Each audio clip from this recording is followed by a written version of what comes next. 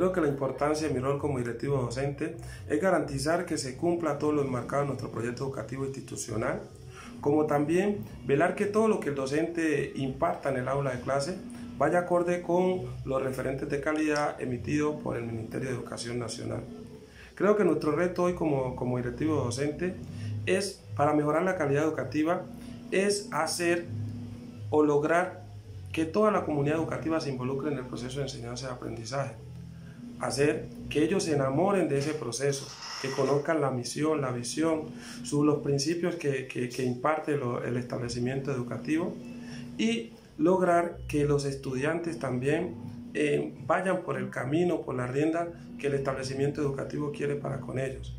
De tal manera que podamos sacar seres humanos competitivos y que puedan servirle a Colombia, que puedan construir también paz a donde quieran que vayan.